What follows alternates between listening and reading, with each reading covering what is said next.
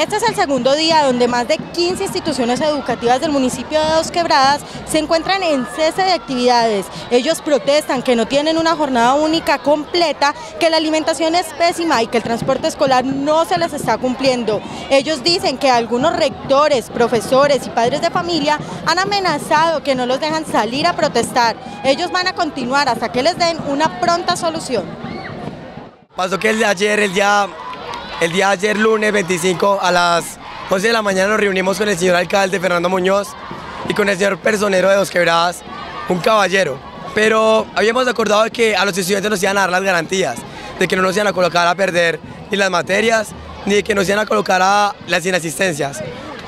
Además de eso, iba a mandar un comunicado con las instituciones y los rectores y obviamente los profesores para que no ejercieran el proceso de la represión. Las irregularidades son la infraestructura, las fallas en la jornada única, la tarifa diferencial, la alimentación escolar y la alimentación escolar y, la falta de aulas, la falta de docentes, la falta de personal de aseo y de vigilancia, la falta de psicoorientadores, psicopedagogos, coordinadores y rectores.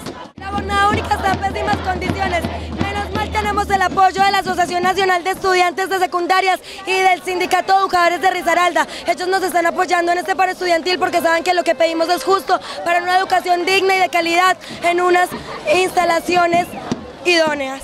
Ayer nos sentamos con el alcalde y con varios representantes a empezar a decir qué es lo que nosotros buscamos para podernos sentar a, dialogar y a llegar a un acuerdo.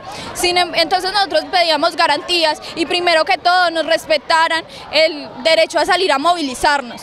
Sin embargo, lo primero que hizo el alcalde fue salir y decir que los padres, por favor, no, no dejaran salir a los estudiantes a movilizarse. Entonces ahí es donde empezamos a violar y empezan nosotros a pensar si sí van a, vamos a llegar a un acuerdo y si sí se va a llegar a algo. Porque si todavía no nos sentamos a, a dialogar y ya están incumpliendo lo que están hablando, entonces ¿a dónde vamos a llegar? CNC Noticias habló con el personero de Dos Quebradas, Oscar Mauricio Toro, quien se encuentra como mediador en esta situación para que se garantice un feliz término a estas protestas.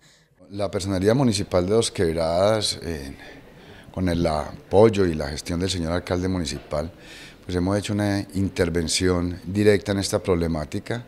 Eh, nos reunimos ayer eh, con los estudiantes, escuchamos cuáles son las inquietudes de todos los estudiantes y el día de hoy precisamente en las instalaciones de la personería tenemos una nueva reunión con ellos. Vamos a identificar puntualmente los, eh, cada una de las dificultades que ellos manifiestan tienen en las instituciones educativas. Primero vamos a identificar esas dificultades y después vamos a evidenciarlas. Se evidencian yendo a las instituciones educativas, eh, hablando en esas instituciones con los rectores trataremos de solucionar algunas de esas inquietudes que tienen los estudiantes, ya volveremos a, sentarnos a, dialogar y ya saldrán las propuestas de cómo solucionar todas estas problemáticas que ellos tienen identificadas. Los estudiantes manifestaron que las protestas irán hasta el día viernes, pero de no encontrar prontas soluciones, la próxima semana seguirán con las manifestaciones hasta que les den una solución definitiva. No nos vamos a sentar de esta mesa hasta que no nos den las garantías certeras. Y créanme, de que si nos vamos a dos, tres semanas, no las vamos. Pero aquí nosotros vamos a ganar, los estudiantes vamos a ganar.